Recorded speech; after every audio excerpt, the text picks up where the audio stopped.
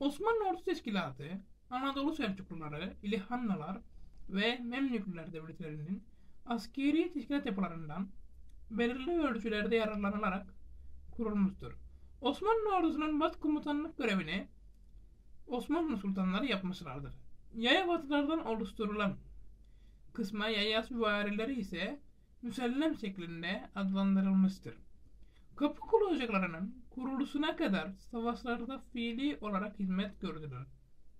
Osmanlı Devleti'nin temeli atılırken süvari olan beylik kuvvetlerinin yerine Alaaddin Paşa ile Kacı Kadı Cendereli Kara Halil'in tavsiyeleriyle Türk gençlerinden oluşan ayrı ayrı biner kişilik yaya ve müsellem isimleriyle muvazzaf iki sınıf piyade ve süvari kuvveti kuruldu. Osmanlı Devleti'nin beylik devlet siyasetinden imparatorluk siyasetine geçişi, imparatorluk içinde bağımsız güç bırakmak istemeyen merkezi otoriteyi deftirme, kapı kolu, Yeniçeri, Endurun sistemiyle sağlamlaştırmak isteyen 2. Mahmut ile başlamıştır.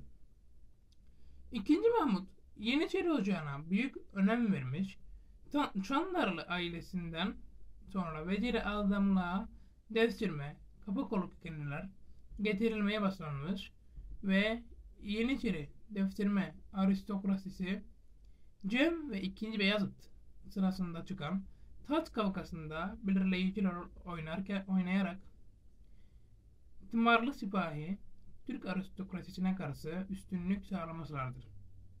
Ayrıca bu devirde çok fazla kadın alışverişi olmuş ilişkileri arttırmıştır. Kanuni Sultan Süleyman'ın ölümü ile devletin henüz karalarda üstünlüğü, iç denizlerde hakimiyeti ve sosyal düzeni devam etmekteydi.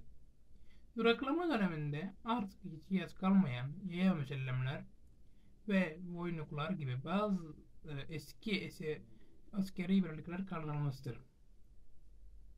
Kapı kullarının sayısı 1610'larda 40 bine kadar çıkmış. Tımarlı sipahinin sayısı 20 bine düşmüştür. Sonuç olarak tımar sisteminin bozulmasının en olumsuz tarafı devletin iktisadi yapısının bozulmasıdır. Gerileme döneminde Avrupa örnek almaya çalışılmış, çekinlik ve ekonomik alanlarda yapılanmaya gidilirken dolanmanın yenilenmesi gibi askeri bir takım yeniletme çabalarına gidilmiştir. 3. Murat döneminden itibaren kapı kulacıklarına kanunlara aykırı asker alınarak sayıların artırılması, Yeniçerilerin geçim sıkıntısını ileri sürerek askerlik dışında işlerle uğraşmaları, iltizam sisteminin yaygınlaşması üzerine tımar sisteminin önemini kaybetmesi ve eyaletlerde askeri yetiştirilmemesi, denizcilik ilgisi olmayan kişilerin donanmanın başına getirilmesi, Avrupa'da meydana gelen bazı